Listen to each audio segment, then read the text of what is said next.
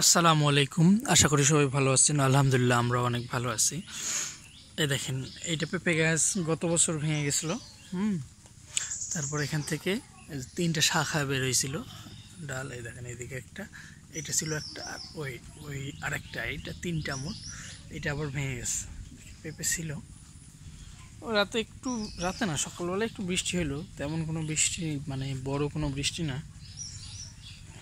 দেখেন, আমি এদের নিচে বল সুন্দরী ফুলের গাছ লাগাইছি, পাতা ওইটা টেনে নিয়ে গেছে।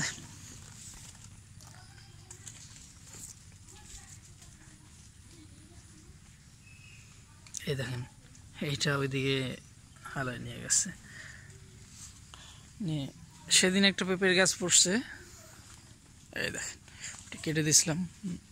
ভিডিওতে দেখছেন আপনারা। আজকে আবার আরেকটা পড়ছে। আরেকটা বলতে এটা পুরো গাছ পড়ে নাই হ্যাঁ? হ্যাঁ, একটু ভেঙে পড়ছে। মানে পেঁপের গাছ এরকম ভেঙেই যায় একটু বাতাস। একটু বৃষ্টি হইলে একটু বাতাস হইলেই আর পেঁপে গাছ থাকে না। দেখেন আরও একটা আছে এইদিকে এটাতে বেশ ভালো পেঁপে ধরছে। তারপর ওই যে আরেকটা গাছ ওইদিকে এটাতেও ধরছে। আর এটা তো পড়েই গেল। এটা আছে আর কি। অনেকগুলোই পেঁপে নিয়ে যেতে হবে। ধন্যবাদ সবাইকে পুরো ভিডিওটি দেখার জন্য।